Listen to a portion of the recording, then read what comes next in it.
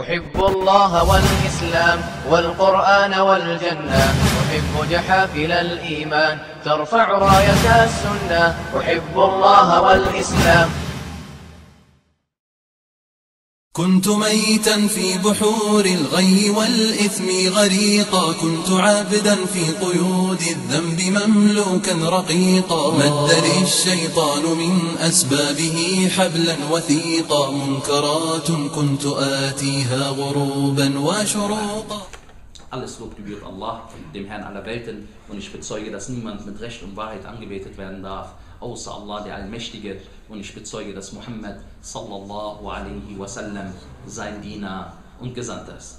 Verzeiht mir die Verspätung, liebe Geschwister, aber ich musste noch eine Sache erledigen, deswegen fangen wir heute ein paar Minuten später an, inshallah ta'ala. Jazakumullah khairan, möge Allah azza wa jal jeden Einzelnen segnen, der hierher gekommen ist, um die Religion Allahs Azza wa Jal zu erlernen, seine Religion zu lernen und Allah Azza wa Jal gegenüber so zu handeln, wie Allah Azza wa Jal das liebt, wie Allah Azza wa Jal das gefällt. Wer mit dieser Absicht gekommen ist, möge Allah Azza wa Jal ihn reichlich belohnen und möge Allah Subhana, der dazu in der Lage ist, ihm dafür das Paradies geben. Allahumma amin.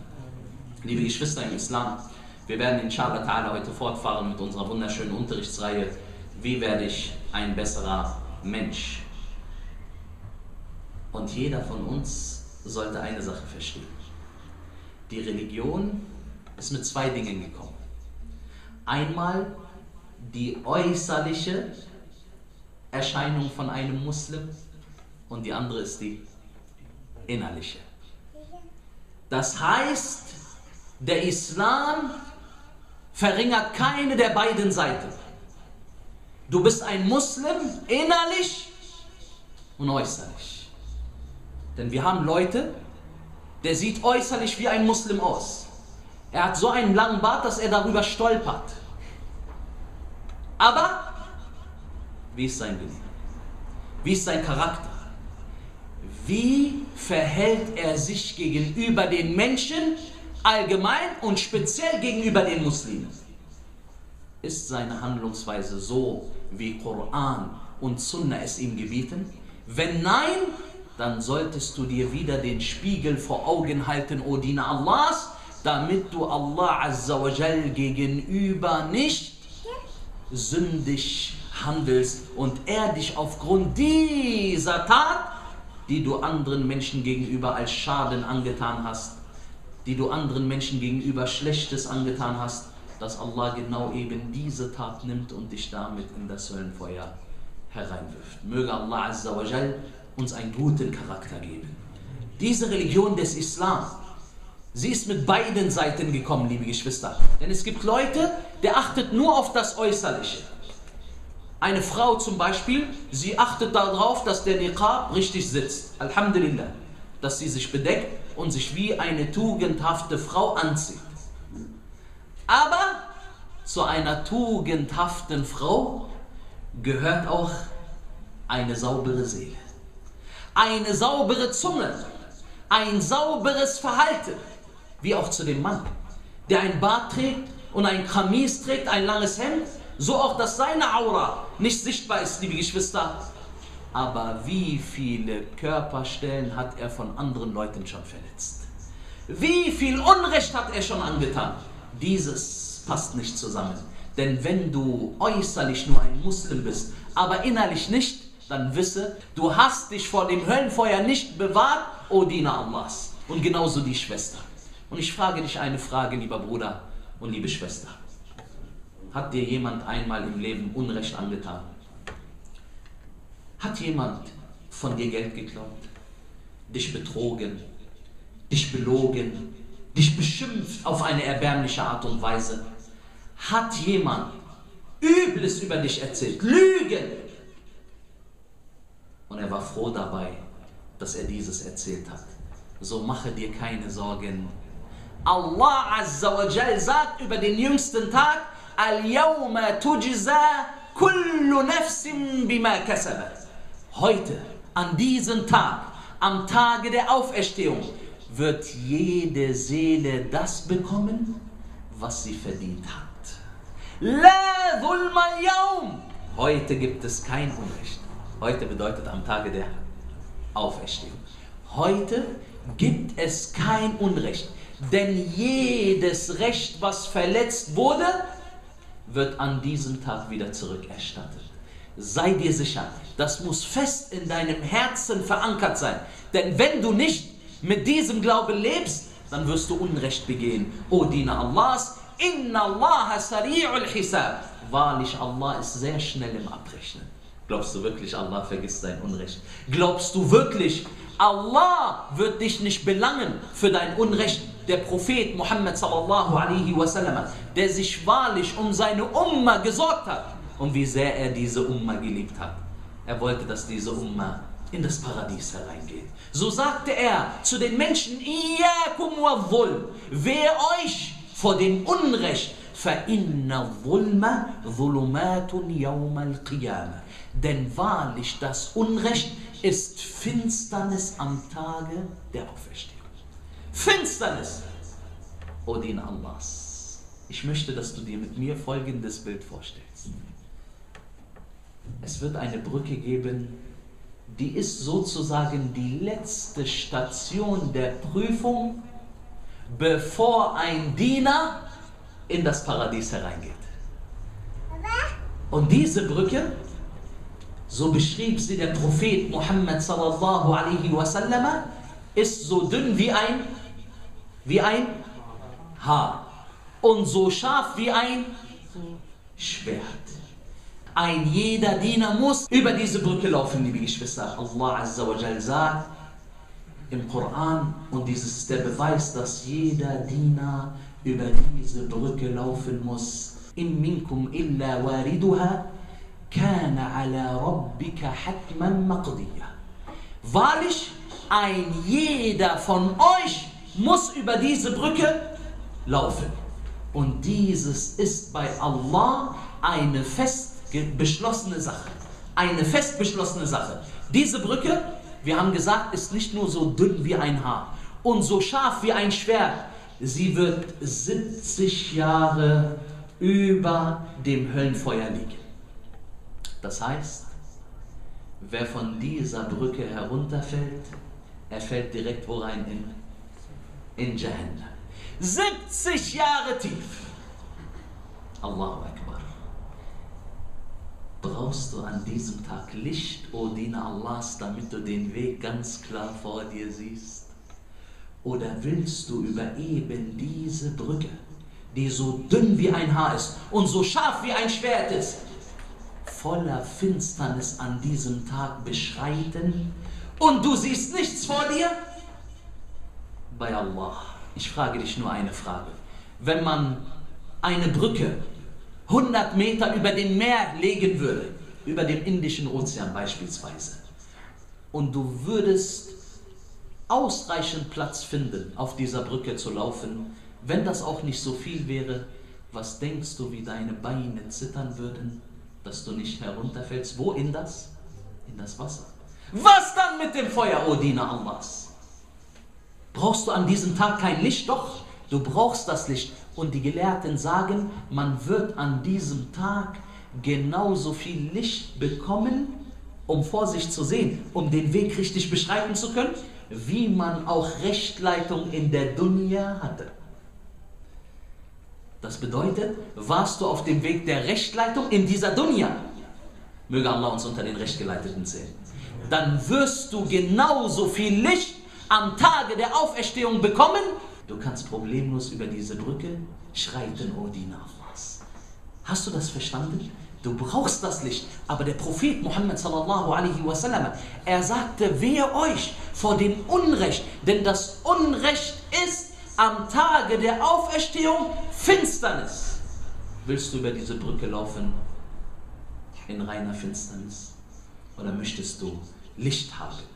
Der Prophet Muhammad sallallahu alaihi wasallam, er sagte, يخلص المؤمنون من النار فيحبسون على قنطرة بين الجنة والنار فيقص لبعضهم من بعض مظالم كانت بينهم في الدنيا Die Gläubigen, die am Tage des jüngsten Gerichts vor dem Höllenfeuer gerettet worden sind, werden auf einer Brücke zwischen dem Paradies und dem Höllenfeuer angehalten.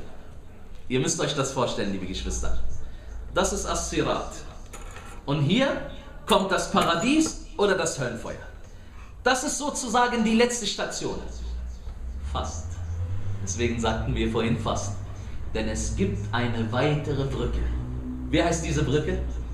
Hä? Wer hat aufgepasst? Kantar. So heißt die Brücke. Das ist die Brücke, an der die Menschen Halt machen, denen du Unrecht angetan hast. Allahu Akbar.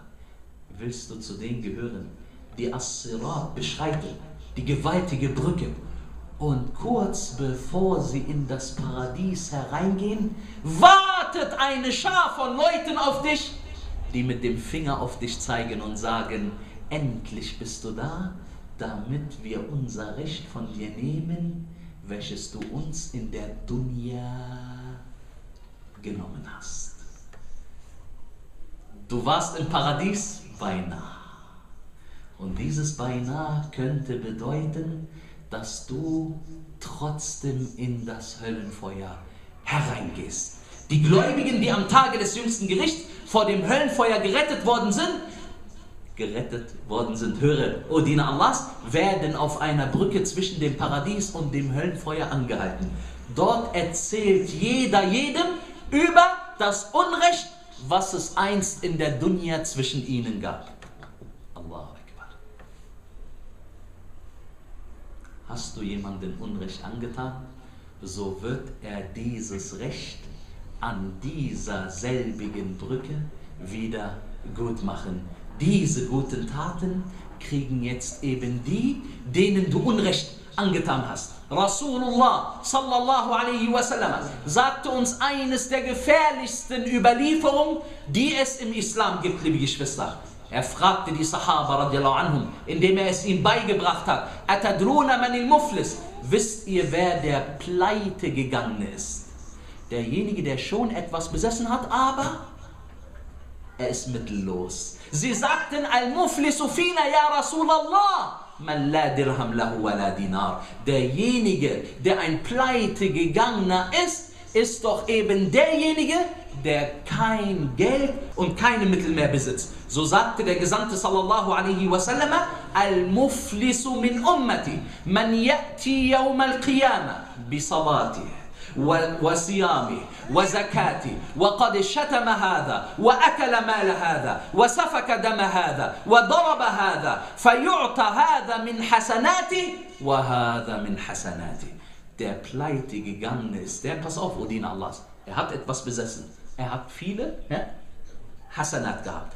Er sagt, sallallahu alaihi wasallam, um diese Worte zu bestätigen, der pleite gegangen ist der, der am Tage der Auferstehung mit Gebet kommt und mit Fasten kommt. Vielleicht hast du auch Montag und Donnerstag gefastet, am 13., 14., 15. eines jeden Monats. Er kommt mit Gebet, er kommt mit Fasten und er kommt mit der Sagar. Sogar die Sagar hast du entrichtet, O Diener Allahs. Aber jetzt kommt sein Verbrechen. Den hat er beschimpft oder beleidigt. Und von dem hat er das Geld genommen. Egal auf welche Art und Weise ob es sichtbar war oder nicht sichtbar war. Und von dem hat er Blut vergossen. Er hat ihn geschlagen. Den hat er geschlagen. So muss er, dieser Mensch, der Hasanat besessen hat, an diesem Tag diese Hasanat, die er gut geschrieben bekommen hat. Kriegen wir jede Hasanat gut geschrieben? Wird jede einzelne Tat von uns angenommen? Antwort? Bei Allah nein. Allah nimmt nur die Taten an, die einzig und alleine für, für ihn gewesen sind. Subhana. Und nach der Weise des Propheten Muhammad sallam, siebe deine ganzen Taten durch. Wie viel bleibt netto von deinen Taten übrig? Glaubst du, alle 100 Taten, die du gemacht hast, wirst du auch belohnt bekommen? Vielleicht sind von diesen 100 Taten nur 10 Taten übrig geblieben, die du wirklich auf eine Art und Weise verrichtet hast, wie Allah Azza wa Jal es gefällt. Er kommt mit viel Hasanat, mit vielen guten Taten, aber er hat Unrecht getan. In jeder Art und Weise. So werden ihm von seinen Hasanat genommen, von seinen guten Taten. Und er muss die Hasanat an diejenigen abgeben, denen er Unrecht angetan hat, dann ist das Ende von diesem Hadith, liebe Geschwister, فَطُرِحَتْ عَلَيْهِ ثُمَّ طُرِحَ فِي النَّارِ Dann werden diese Hasanat von ihm genommen, bis er keine einzige Hasana mehr besitzt, keine einzige gute Tat mehr, dann werden die schlechten Taten von denjenigen genommen, den er Unrecht angetan hat, und sie werden ihm auf seinen Rücken gelegt. Hast du das verstanden, O Diener Allahs? Du bekommst die Sünden derjenigen, denen du Unrecht angetan hast. Und wie froh sind sie, dass sie an diesem Tage diese Sünden abgeben müssen. Sie haben jemanden gefunden, der bereit ist, ihre gesamten Sünden auf sich zu lasten, ob er will oder nicht, Allah wird es möglich machen. Danach sagt der Prophet Muhammad sallallahu alaihi wasallam, wird er in das Höllenfeuer geworfen. Subhanallah. Deswegen nannte der Prophet Muhammad sallallahu alaihi wasallam diese Person wie? Al-Muflis, der Pleitegegangene. Einer, der ein Geschäft besitzt, er hat doch Warenwerte, richtig? Er hat einen Laden, er hat Ware, er hat Mittel, die er benutzen kann, aber er ist trotzdem was? Pleite. Wir haben gerade gebetet, O Diener Allahs. Wessens Gebet wurde angenommen? Glaubst du tatsächlich, dass all deine Taten angenommen werden von Allah Azza wa Jal? Wenn wir alle Taten herunterrechnen, die du nicht gut gemacht hast, nicht nach der Weise des Propheten Muhammad und wo du sogar Riyah hattest, bedeutet, du wolltest mit dieser Tat jemand anderen beeindrucken außer Allah, wie viel bleibt tatsächlich von deinen Taten übrig? Netto. Diese paar gezählte Taten, die dann tatsächlich übrig bleiben, wenn du den Menschen Unrecht angetan hast, dann werden dir die besten Taten genommen. Warum die besten Taten? Welche Taten bleiben übrig? Die guten oder die schlechten? Die guten, die du mit Ikhlas gemacht hast, mit reiner Aufrichtigkeit für Allah, nach der Weise des Propheten Muhammad sallam und Allah hat deine Tat gefallen, deswegen hat er diese Tat angenommen. Genau diese Tat wird dir genommen, für die du so schwer gearbeitet hast. Und wenn du keine guten Taten mehr hast, dann bekommst du die Sünden desjenigen, den du gegenüber Unrecht angetan hast. Glücklich ist derjenige an diesem Tag, Wallahi al-Azim, der nur seine eigenen Sünden tragen muss. Möge Allah Azza uns nicht unter den Ungerechten machen. O Dina Allah, schau mal das Gebet, was du mit Ikhlas gebetet hast Und die Sadaqa, das Almosen, was du auf beste Art und Weise gegeben hast. Dieses nimmt dir jemand weg, dem du Unrecht angetan hast.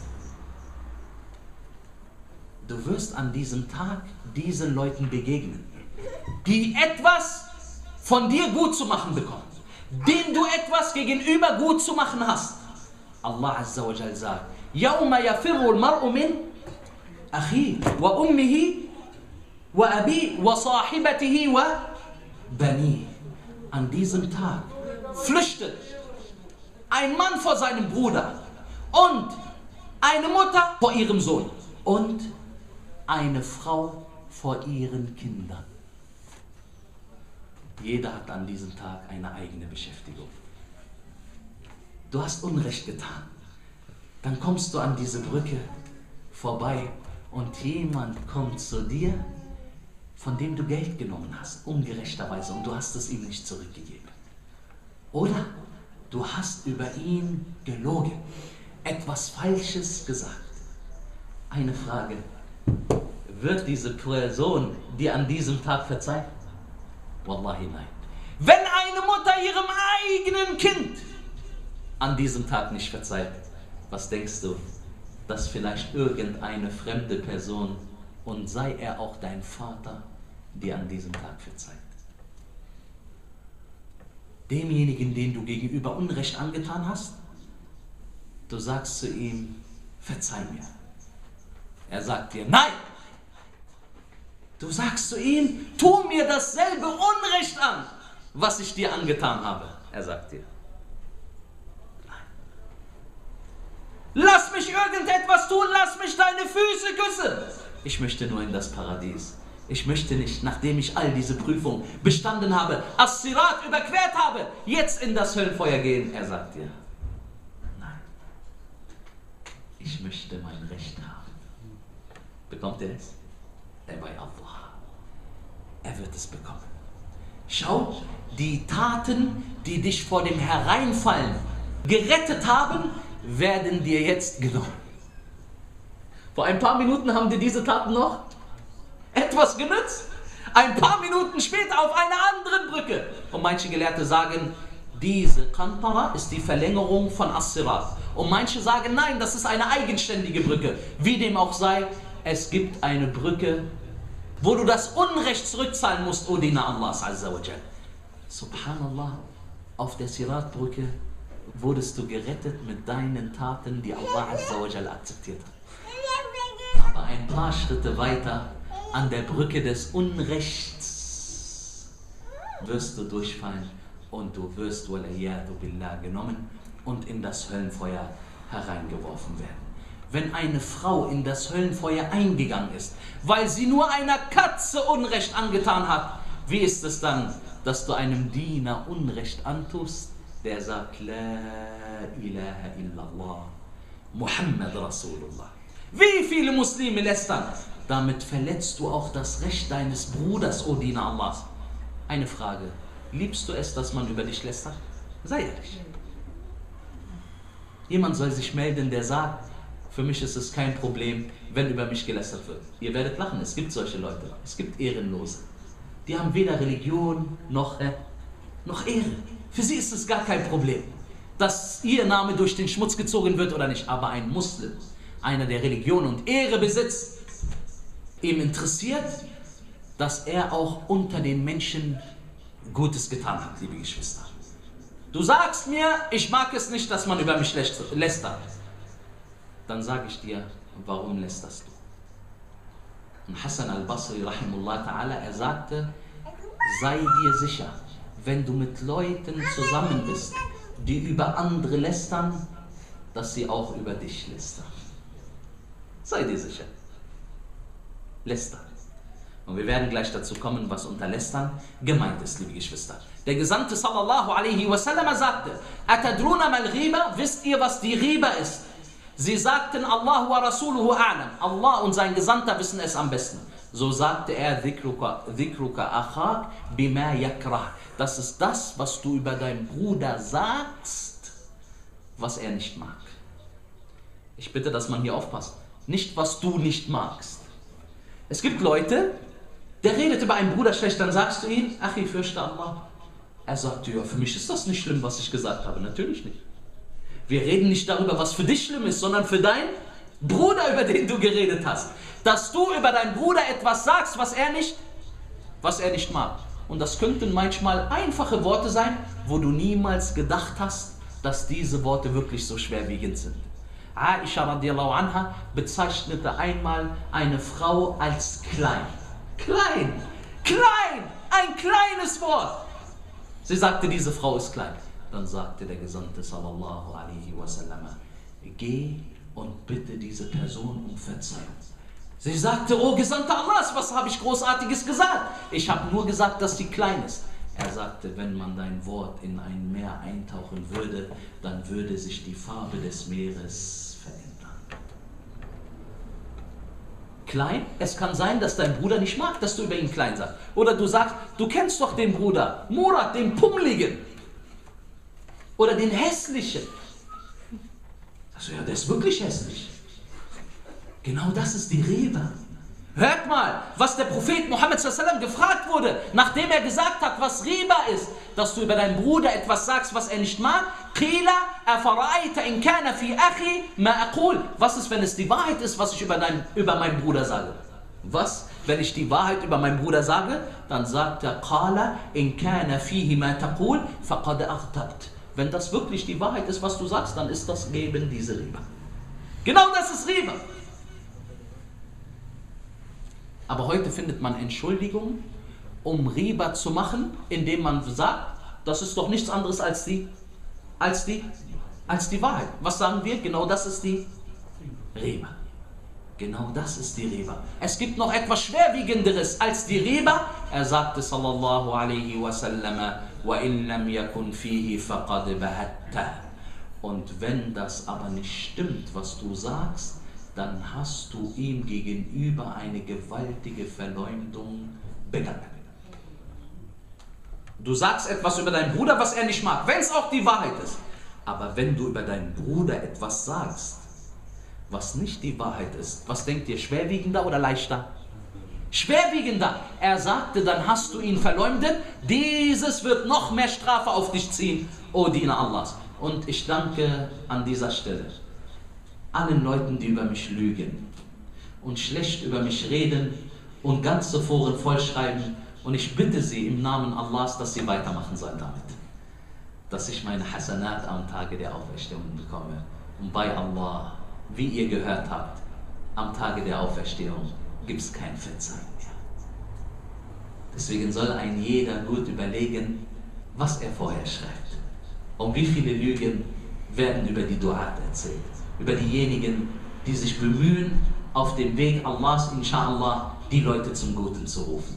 Möge Allah Azza uns all diese Beleidigung und Verleumdung, was die Leute über uns sagen, möge Allah uns das tief in unsere Waagschale schreiben. Ist das Lästern nur mit der Zunge bei Allah? Nein! Du kannst auch lästern durch eine hä? Geste. Zum Beispiel. Bilal kommt zu mir und sagt mir, was hältst du von Ahmad? Ihr sitzt beide vor mir, deswegen seid ihr heute die Schauspieler. Was hältst du von Ahmad? Dann sage ich dir, hm. was war das für eine Handbewegung? Hä? Verächtlich? Erniedrigend oder nicht? Du brauchst kein einziges Wort zu sprechen, das war gerade Reba. Reba! Ob du es mit der Zunge aussprichst oder ob du eine Gestik verrichtest oder mit dem Auge etwas winkerst, um jemanden zu erniedrigen, das ist alles Reba, lieber Diener Allahs. Jeder von uns muss wissen, dass ein Wort ihn in das höchste Paradies bringen kann. Und ein Wort ihn in die schlimmste Stätte der Hölle bringen kann. Der Prophet Muhammad sallallahu alaihi wasallam sagte: Inna ahadakum la yatakallamu bil kalima min ridwanillah. Ma yadhunnu an tablugha ma balagat. Einer von euch, er redet ein Wort, ein einfaches Wort, welches aber Allah Azza wa Jal gewählt. Und er wusste nicht, was dieses Wort verursachen wird. Es heißt dann, يكتب الله له بها رضوانا إلى يوم يلقى. Allah schreibt dann für diese Person, der dieses gute Wort gesagt hat, was Allah gefallen hat, Allah schreibt ihm seine Zufriedenheit bis zu dem Tage, an dem er Allah trifft. Allahu Akbar. Du sagst ein gutes Wort über deinen Bruder, Allah ist aufgrund dieses Wortes mit dir zufrieden. Deswegen macht euren Geschwistern viele Komplimente. Aber ich höre, dass man wenig Komplimente den Geschwistern macht. Denn dieses Wort, was du Schönes gesagt hast zu deinem Bruder, das kann Allahs Wohlgefallen nach sich ziehen. Und Allah ist mit dir zufrieden bis zu dem Tag, an dem du ihn triffst. Aber es gibt zwei Seiten von der Medaille. وإن أحدكم ليتكلم بالكلمة من سخط الله ما يظن أن تبلغ ما بلغت يكتب الله عليه سخط إلى يوم يلقاه Und einer von euch, er spricht ein Wort, welches Allah bei weitem nicht geliebt hat. Und so schreibt Allah sein Zorn über diese Person bis zu dem Tag, an dem diese Person Allah trifft. Weißt du, warum der Gesandte sallallahu alaihi wasallam uns diese Überlieferung gesagt hat? Weil er Angst um uns hatte, o Diener Allahs. Höre und staune und sei nicht erschrocken, aber es ist die Wahrheit. Der Prophet Muhammad sallallahu alaihi wasallam, er wurde einmal gefragt, Ja Rasulallah, inna fulanatan taqumu al-layl taf'al wa tasaddaq wa tu'dhi jiranaha bilisaniha. Eine Nachbarin von uns Sie steht in der Nacht auf, um zu beten. Das heißt, sie betet wann? In der Nacht Qiyamul. Und sie fastet am Tage und sie tut von den guten Taten, was man nur tun kann und sie spendet sogar, aber am Tage beleidigt sie ihre Nachbarn, redet sie schlecht über ihre Nachbarn. فقال رسول الله صلى الله عليه وسلم لا خير فيها هي من أهل النار der Gesandte sallallahu alaihi wasallam, der nicht aus Begierde spricht, sondern es ist eine Offenbarung von seinem Herrn. Er sagte, es gibt nichts Gutes in dieser Frau. Sie ist von den Leuten des Höllenfeuers. Sie gehört zu den Leuten des Höllenfeuers. Ich bitte dich um die Allahs. Sie hat wenigstens noch Taten gehabt. Was hat sie gemacht? Sie hat in der Nacht gebetet, am Tag. Sie hat auch gespendet. Du machst all dieses nicht und lässt das. Wenn sie von Ahlun Nar ist, wo bist du? Welche Taten hast du vorzuweisen? Und du lässt das! Und ich schicke gerade auch einen Brief nochmal zusätzlich an die Schwester. Fürchtet Allah. Und ich weiß, dass das bei vielen Schwestern eine Lieblingsbeschäftigung ist. Und wenn man sie fragt, warum lästerst du, dann sagt sie, die Wahrheit muss gesprochen werden. Wir sagen ihr, genau das ist die Wahrheit, die am Tage der Auferstehung zur Falschheit wird und warum man ins Höllenfeuer hereingeht. Wahrheit bei dir, aber Falschheit bei Allah. Geht es um dich oder um Allah? Wer bestimmt? Es gibt sogar eine Strafe im Grab für das Lästern. Der Prophet Muhammad sallallahu alaihi wasallam sagte: "Lamma urija bi marartu biqaumin lahum adfarun min nuhas." يخمشون بها وجوههم وصدورهم فقلت من هؤلاء يا جبريل قال هؤلاء الذين يأكلون لحوم الناس ويقعون في أعراضهم als ich in den Himmel emporgehoben wurde, sagt der Prophet Muhammad sallallahu alaihi wasallam, so kam ich an einigen Menschen vorbei, die Nägel aus Bronze hatten, mit denen sie sich ihre Gesichter und ihre Brüste zerkratzten. Ich fragte Jibril, den Engel, wer diese Menschen seien. Er sagte, diese haben das Fleisch der Menschen gegessen und über ihre Ehre geredet. Eine Strafe im Grab vor der größeren Strafe im Höllenfeuer. Und in einer anderen Überlieferung heißt es, und manche Gelehrte haben sie als Sahih gezeichnet, wie äh, Ibn Hajar al-Asqalani, liebe Geschwister, der Prophet Muhammad sallallahu alaihi wasallam sagte, Man akala lahma akhi fi dunya qurraba ilayhi yawm al-qiyamah fayuqal فيقال له كل ميتا كما أكلته حيا Am Tage der Auferstehung wird einem eine Leiche vorgesetzt. Eine Leiche wird dir vorgesetzt. So wird zu dir gesagt werden, iss ihn in einem toten Zustand, so wie du in der Dunya ihn lebendig gegessen hast. Was heißt lebendig gegessen? Du hast über ihn Riba gemacht. Wenn Allah Azza sagt lebendig gegessen, dann meint es, du hast über diese Person Reba gemacht. Darum musst du an diesem Tag, Yawmul Qiyamah und Allahu Alam, in welchem Zustand die Leiche sein wird, ekelhaft. Du wirst sie essen müssen. Iss von dieser Leiche, so wie du in der Zeit der Dunya Schlechtes über ihn geredet hast. Und wenn du auch ungerecht bist zu anderen, so wird das zu dir zurückkehren, O Diener Allahs. Wie viele Männer schlagen ihre Frauen zusammen?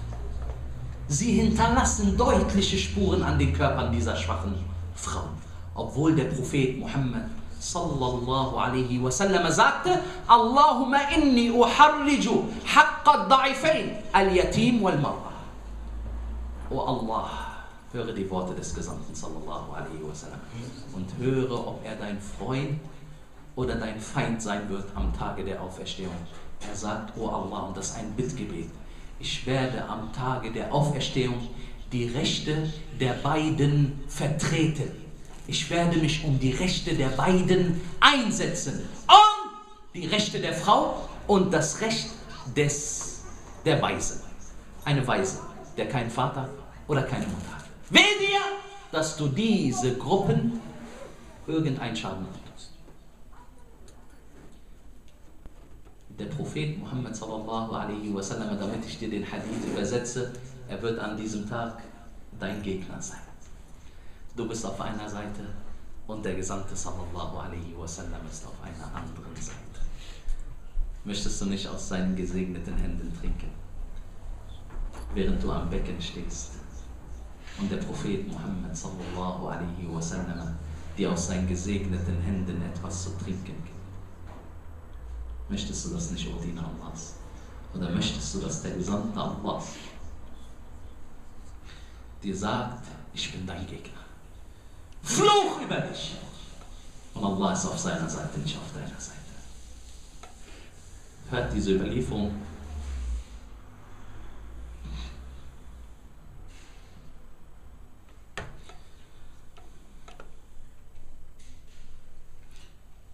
Abu Mas'ud radiallahu anh,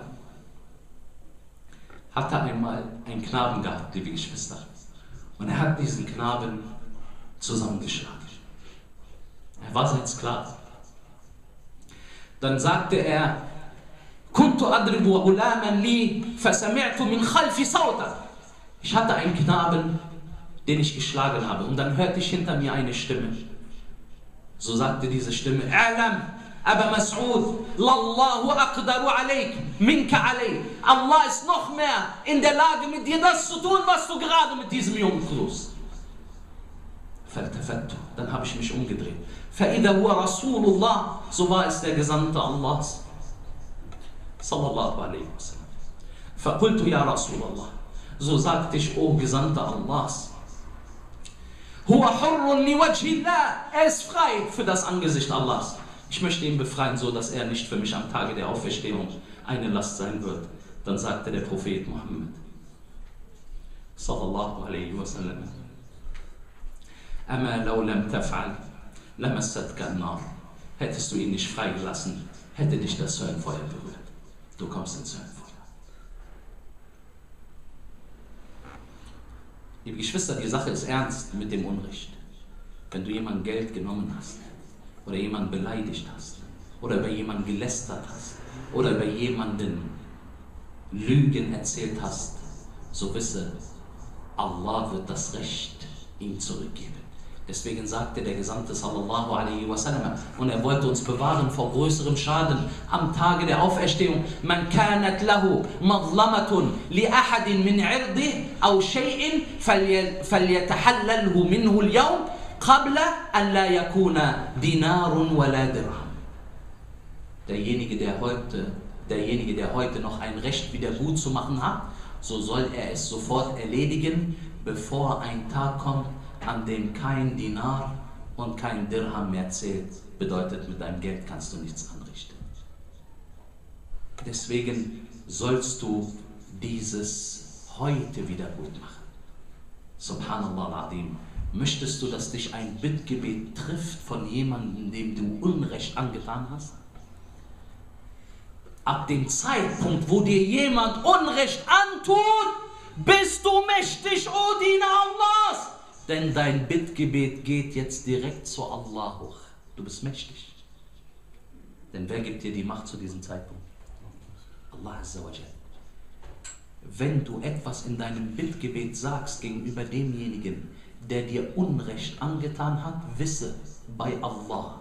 Und ich schwöre einen kräftigen Schwur, das Bittgebet wird angenommen. قال رسول الله صلى الله عليه وسلم واتق دعوة المظلوم فإنه ليس بينه وبين الله حجاب so fürchte das Bittgebet des ungerecht Behandelten, denn zwischen ihm, dem Unrecht angetan wurde, und Allah gibt es kein Hindernis, dass das Bittgebet hochgeht. Und in einer anderen Überlieferung, Hadith Qudsi, sagt, der, sagt Allah Azza wa Jal, وَعِزَّتِي وَجَلَالِي لَأَنْصُرَنَّكِ وَلَوْ بَعْدَ حِينٍ Bei meiner Allmacht und bei meiner Majestät, ich werde dir Bittgebet helfen, hochzukommen, auch wenn es einige Zeit dauert. Das bedeutet, das, was der ungerecht Behandelte gesagt hat als Bittgebet, wird in jedem Fall erfüllt, sei es auch nach einiger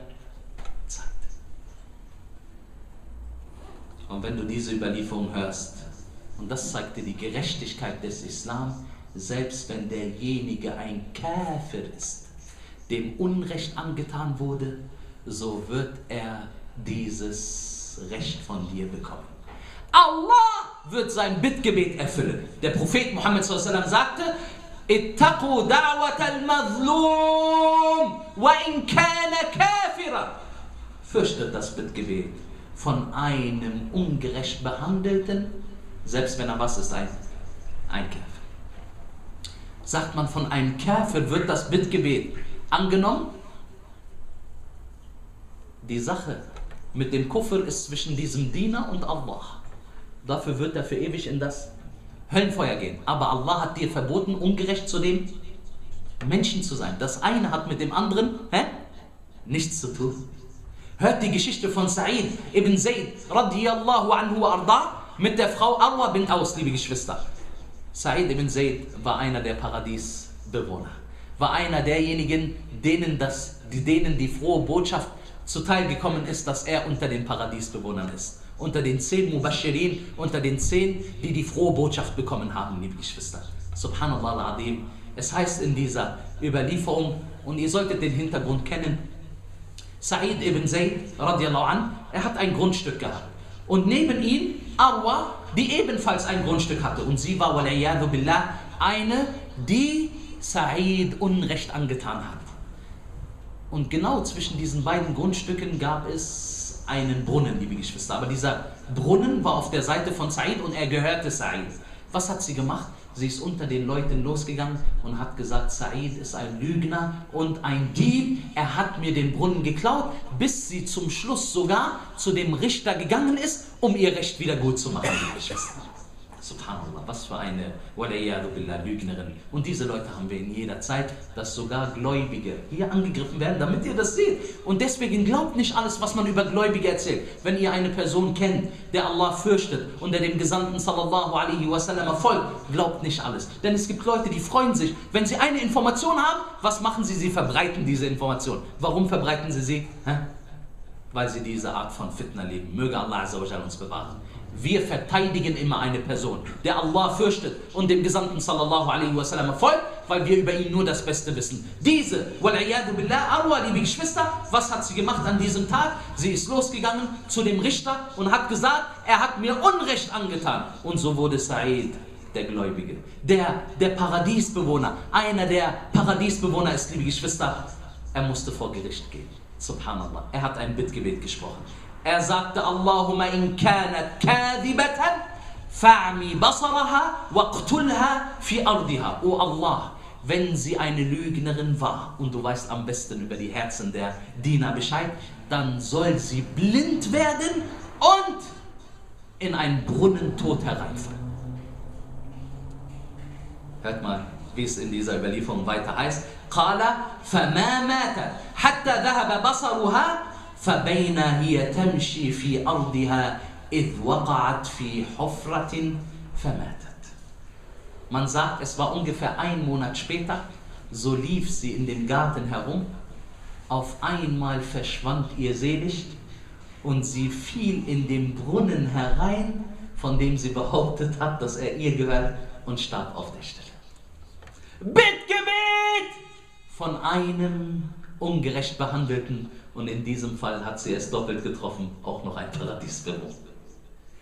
Was denkst du, wenn du dich mit denjenigen anlegst, die vielleicht Waliullah sind, nahestehende Diener zu Allah, die Allah liebt, die Allah verteidigt.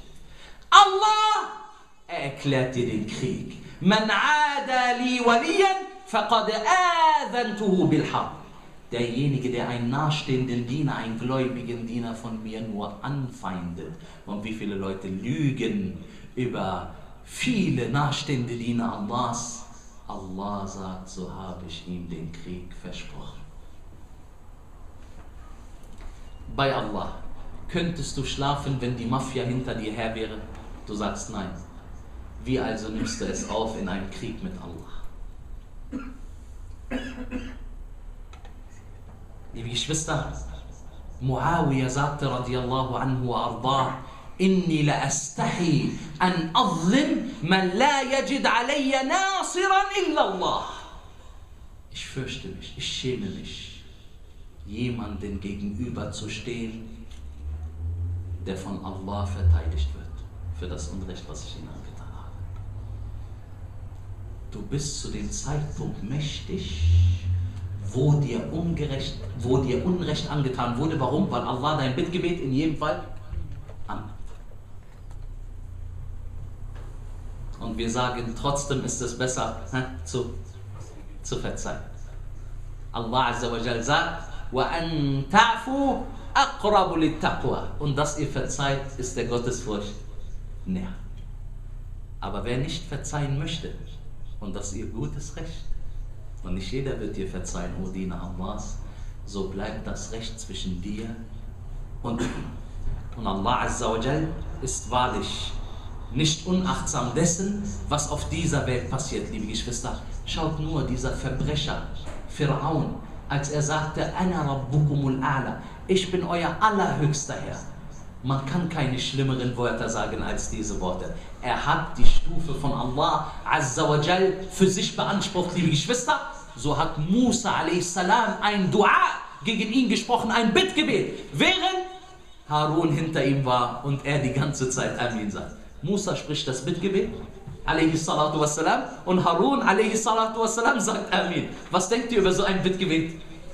Was denkt ihr über so ein Bittgebet? Und trotzdem hat es 40 Jahre gedauert, bis Allah das Bittgebet umgesetzt hat. Manchmal dauert es seine Zeit. Und abschließend möchte ich sagen, O Allahs, dass wir immer aufpassen sollen beim Unrecht. Denn heute haben wir ein Unrecht schnell begangen, aber morgen kehrt dieses Unrecht wieder zu uns zurück.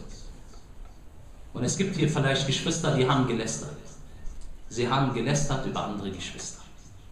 Wie kann man diese Lästerei wieder gut machen?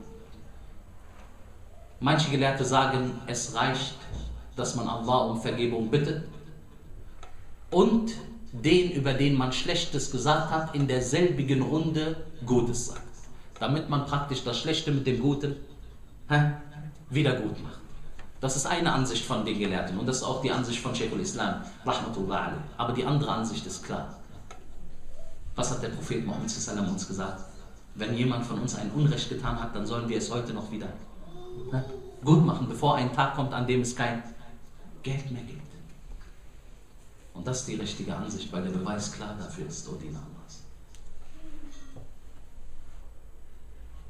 Und das nächste Mal frage dich, bevor du lästerst, du weißt ganz genau, du hast viel zu viel Stolz, zu dieser Person hinzugehen und ihn um Verzeihung zu bitten, richtig? Wir haben Stolz, das ist, das ist so bei uns, dieser Stolz, falscher Stolz, aber er ist da. Wollen wir lügen? Wir lügen nicht. Deswegen überlege das nächste Mal, bist du bereit, zu dieser Person hinzugehen, um ihn um Verzeihung zu bitten? Wenn nein, und es ist mit Sicherheit ein Nein, dann lass das. Und nicht jede Sache ist Lästern, liebe Geschwister. Denn manche Geschwister denken, jede Sache ist Lästern. Was ein Kafir anbetrifft, das ist keine Lästerei. Aber nicht, dass wir auch Muslime sind, die sich einen Stundenplan machen. Heute reden wir über Thomas und morgen über Peter und übermorgen über Sandra. So ist kein Muslim. وَقُولُ لِلنَّاسِ Husna und spricht über die Leute Gutes, sagt Allah Azza Aber wenn man sich auch manchmal vergreift, das ist keine Lästerei. Auch ist es kein Lästern, wenn du zu deinem Bruder hingehst, um einen Ratschlag zu bekommen, damit er weiß, wie er mit dieser Person umgeht. Das ist auch kein Lästern. Oder du erklärst einem Sheikh, wie du mit dieser Person umgehst. Das ist ebenfalls kein Lästern. Oder du redest über einen Fasid. Fasid bedeutet ein offenkundiger Sünder. Der billah, er betet nicht, er fastet nicht, er praktiziert die Religion nicht und er hat noch Anschein von Arroganz. Das ist ein Fasid. Über ihn zu reden ist keine Lästerei. Und es ist auch keine Lästerei, über die Leute von Ahlul Bid'ah zu reden, nicht über ihre Ehren oder ihre privaten Dinge, sondern über ihre Taten, die sie machen. Wenn eine Person über mich lügt, und er erzählt die ganze Zeit Lügen über mich. Wenn ich dann über ihn etwas sage, er ist ein Lügner, das ist keine Riba. Obwohl er nicht dabei war. Aber warum? Nur mit einem Grund, was das rechtfertigt. Weil er mir was angetan hat? Unrecht. Zum Beispiel einer kommt, er möchte eine Schwester heiraten. Und wir wissen von dieser Person, er ist ein Heiratsschwindler. Dann sagen wir zu der Schwester, dieser ist ein Betrüger und das ist keine Riba. Auch wenn jemand dich fragt bezüglich einer Person, weil es hier um Heirat geht, du kannst alles erzählen. Es ist überhaupt keine Riba. Weil manchmal denken wir, eine Sache könnte Riba sein, aber sie ist keine Riba in unserer Religion. Wenn eine Person heiraten möchte, zum Beispiel, du weißt, eine Schwester möchte mit einem Bruder heiraten, aber du weißt über diesen Bruder, der handelt mit Drogen, der ist mit den Leuten von den Üblen zusammen, mit den üblen Leuten zusammen, hier ist es kein Problem, du kannst sagen, der ist ein Drogenhändler, der ist ein Fasik und dieser Bruder ist nichts für dich. Alles. Haben wir das verstanden? Nicht alles ist Lästern. والله تعالى أعلى وأعلم سبحانك اللهم وبحمدك أشهد أن لا إله إلا أنت أستغفرك وأتوب إليك اللهم صل وسلم وبارك على نبينا محمد وعلى آله وصحبه أجمعين